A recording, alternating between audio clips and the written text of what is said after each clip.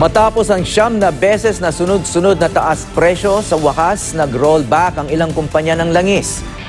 85 sentimo kada litro ng gasolina ang bawas presyo ng Shell, Petron, Total, Flying V at Eastern Petroleum. 65 sentimo kada litro naman ang tapya sa presyo ng diesel. 20 sentimo ang rollback sa kerosene ng Shell, Petron at Flying V. Nauna namang nagpatupad ng bawas presyo ang Phoenix Petroleum Philippines, Sea Oil at Petrogas noong Sabado at Linggo. 80 sentimo ang kanilang rollback sa kada litro ng gasolina. 60 sentimo naman sa kada litro ng diesel. 20 sentimo ang bawas presyo sa kerosene ng Sea Oil.